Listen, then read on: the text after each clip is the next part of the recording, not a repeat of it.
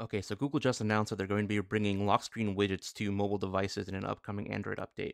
On a recent blog post, um, they mentioned this little tidbit right here. Under when will lock screen widgets be available? The answer lock screen widgets will be available in AOSP or the Android open source project for tablets and mobile starting with the release after Android 16, um, in parentheses QPR1. That release will be scheduled to be pushed to AOSP in late summer 2025 and there's already a note that lock screen widgets are available right now on the Pixel tablet, starting with the um, Android 15 QPR1 release. So that's already available. You can see right here for tablets. But what does it look like for mobile devices, for phones? Well, I have the feature working right here, so I can give you a quick little sneak peek. Um, the way it's going to work will be a little bit different than on tablets. Um, you'll be able to access it instead of by swiping right on the lock screen, at least for now. Um, it's tied to the screensaver feature. So if you enable the screensaver, and then you dock your phone or you charge it.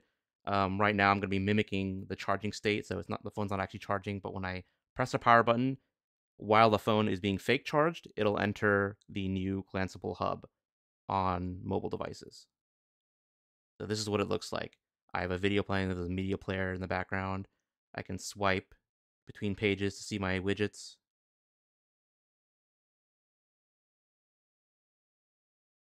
And then you can see at the bottom right, there's a little button right here. Tapping this should re-enter the screensaver. And indeed, this is the clock screensaver that I just entered by tapping that little button.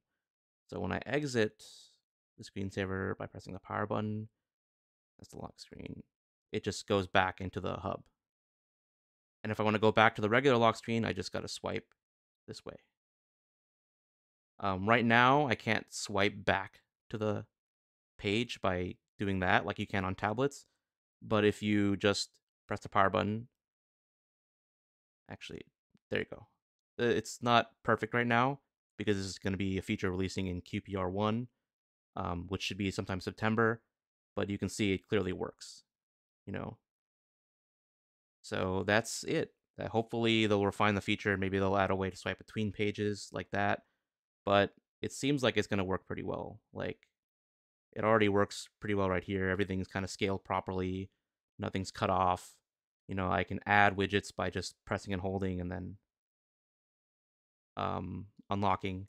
And then I can add widgets at any time by tapping the add widget button. And I can also remove widgets by long pressing them, resize them,